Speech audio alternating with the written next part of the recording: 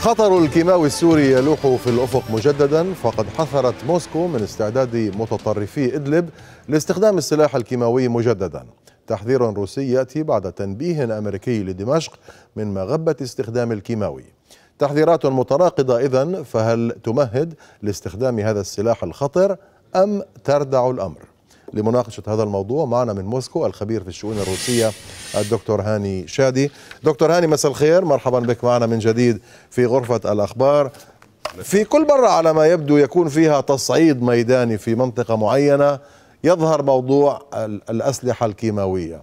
هل هذه المرة أيضا يأتي الموضوع في نفس السياق في التصعيد الموجود في إدلب وفي آه، أرياف حماة وإلى آخره لأنه كان هناك يعني تحذيرات من جهات غربية أمريكية وفرنسية الأسبوع الماضي أو الذي قبله آه، بأنه هناك إمكانية آه، لاستخدام هذا السلاح. الآن روسيا تقول المتطرفين ربما على وشك أيضا استخدام هذا السلاح. يعني كيف نفسر ظهور هذه المسألة بين الحين والآخر؟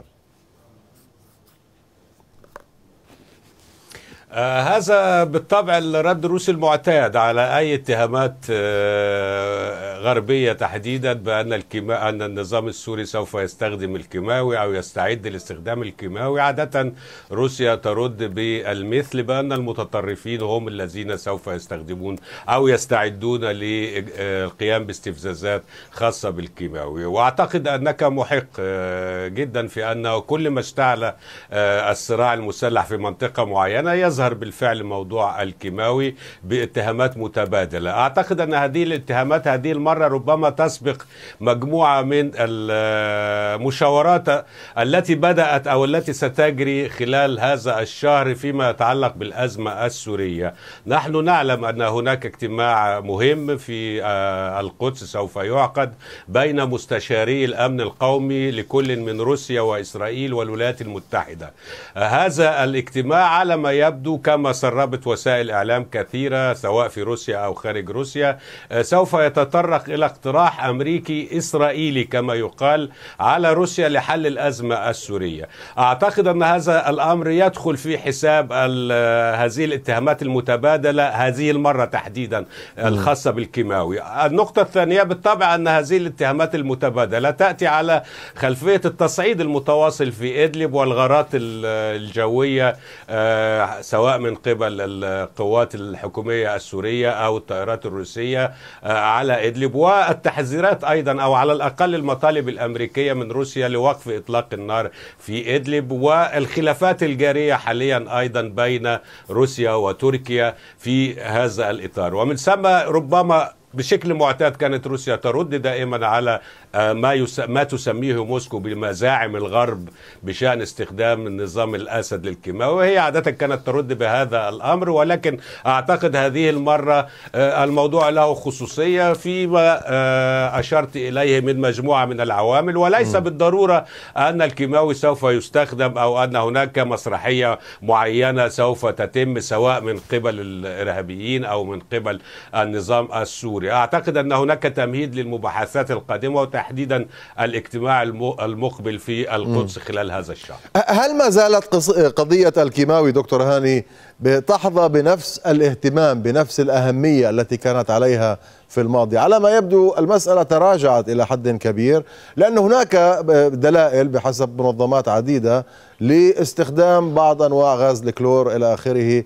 يعني بغض النظر من الذي استخدمها ولكن موجودة على ما يبدو بحسب الأدلة. هل ما زال الاهتمام الدولي بهذه المسألة كما كان عليه في السابق؟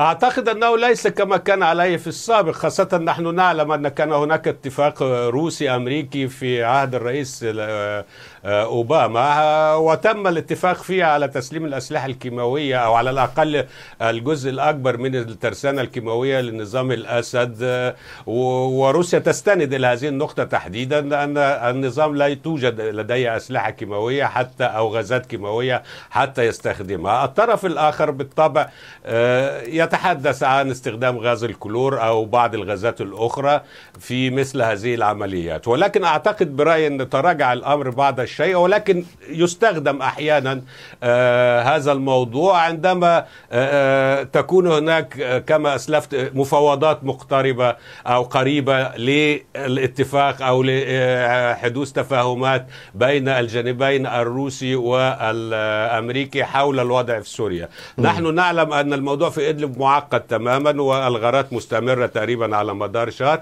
وأن هناك خلافات واضح أنها كبيرة بين تركيا وروسيا تضع ظلالا كبيرة على اتفاق سوتشي في سبتمبر العام الماضي الخاص بمنطقة إدلب. روسيا كما نعلم قبل يومين الكريملين اتهم تركيا بأنها لا, لا تقوم بما تم الاتفاق عليه وحمل تركيا عمليا المسؤولية عن ضرورة تطبيق اتفاق سوتشي وحملها عمليا المسؤولية عما يجري من تصعيد في إدلب. تركيا بالطبع كما نعلم لديها موقف آخر ورؤية أخرى وترفض أن يدخل النظام أو قوات النظام إلى إدلب إلى آخره. وإن كانت على حسب مع المعلومات المتوفرة لدي هناك مباحثات تجري حاليا بين العسكريين الروس والأتراك حول إدلب تحديدا لتهدئة الموضوع. وتنفيذ شروط اتفاق سوتشي وهي معروفة للجميع إنشاء منطقة منزوعة السلاح وقيام تركيا بنزع أسلحة المجموعات التي تطلق عليها تطلق عليها روسيا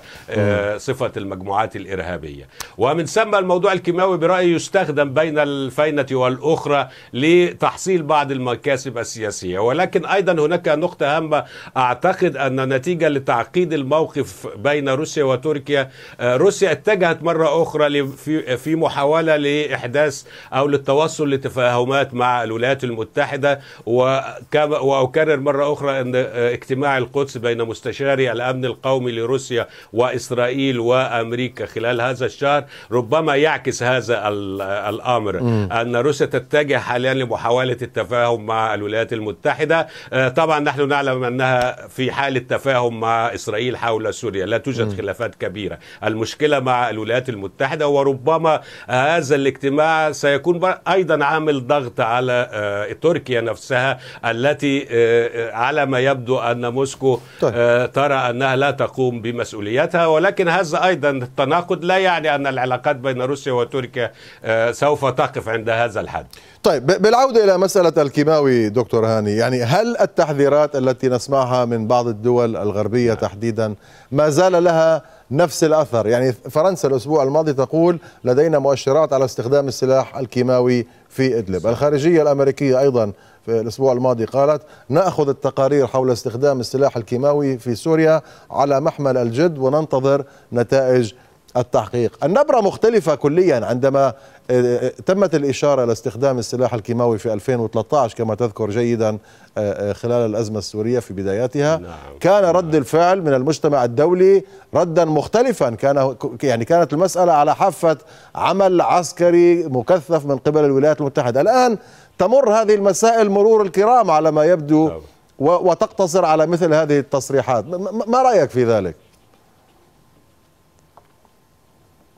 أعتقد بالفعل أنها تمر مرور الكرام ولكن هذا لا يمنع الدول الكبرى أن تطلق مثل هذه التصريحات ومن جانبها روسيا أصلا تطلق تصريحات مضادة لهذه التصريحات. تحسبا لأي شيء. روسيا كما نعلم دائما تنفي استخدام السلاح الكيماوي أو الغازات الكيماوية من قبل نظام الأسد وتتهم كما نعلم المجموعات المسلحة بالقيام بذلك. وهكذا نلاحظ أن الاهتمام أصبح تراجع بعض الشيء ولكن تستخدم ورقة السلاح الكيماوي عندما برأيي تبدأ أو خلف الكواليس م. بعض الترتيبات للتوصل إلى تفاهمات معينة. آه أنا لا أقول بالطبع بأن هذه التفاهمات المقبلة سوف تحل الأز... تؤدي إلى حل للأزمة السورية مباشرة ولكن يمكن أن تمهد لذلك لأن موضوع الأزمة السورية بدون شك أصبح من الأمور المستعصية وسيحتاج وقتا طويلا ولكن لا يمنع ذلك الدول الكبرى من استخدام ورقة الكيماوي. وأيضا روسيا تحاول الرد على هذا بنفس الطريقة حتى لا تثبت أو لا تثبت على الحكومة السورية أنها استخدمت. وخاصة أن عملية التحقيقات لم تبدأ وحسب التقارير الأمريكية الرسمية أنه أنه يحذر النظام من استخدام الكيماوي. أي أن التقارير الأمريكية لا تتحدث عن تأكيد أن النظام قد استخدم السلاح الكيماوي خلال الفترة نعم. الأخيرة. ولكن روسيا تحسبا لذلك تبدأ بالرد المقابل. ولا نستبعد أن تقوم وزارة نعم. الدفاع الروسية أيضا بالدخول إلى هذا المعمعان. في مرة أخرى وتتحدث عن دقائق أو أمور معينة يقوم بها المسلحون للاستعداد لإجراء استفزاز كيماوي. شكرا لك دكتور هاني شادي الخبير في الشؤون الروسية كان معنا مباشرة من موسكو.